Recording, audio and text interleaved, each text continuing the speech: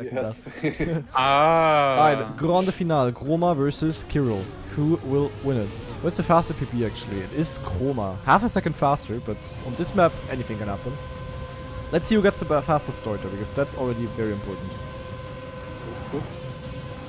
Looks good by the Chroma guy. We're of course cheering for Chroma here, our fellow OK boy. Oh, but Kirill has more speed, or? Ah, really close here, I think.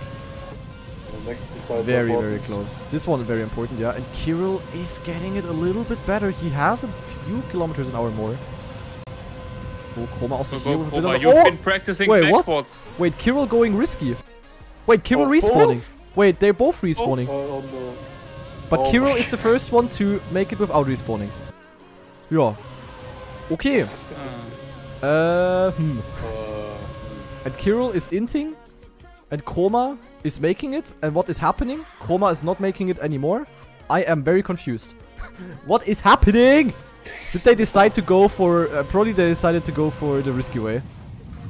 But why is Kirill not driving? Like, huh, is he stupid? he, didn't Because he get it's the too late next for him. checkpoint? Or Is he dead respawned or what? Huh? What is happening? I mean, Chroma is probably gonna make it now, but huh? Like, why is Yeah, Kirill not knows- driving? If he, knows how to get into the last checkpoint. Yeah, he has enough speed, I think.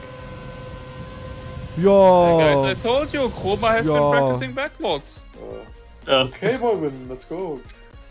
Wait, Kiro's saying, I forgot that I cannot drive the risky route. I cannot turn off my axle, my axle macro mid run.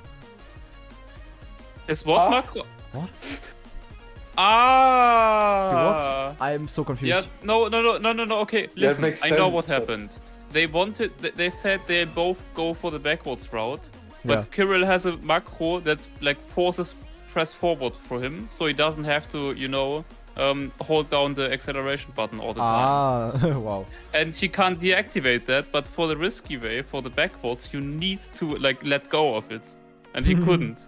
So he couldn't finish because they both wanted to go for the backwards route. Oh, that is quite unfortunate. wow. Yeah, that's probably the worst final uh, ever in Cup of the Day, actually.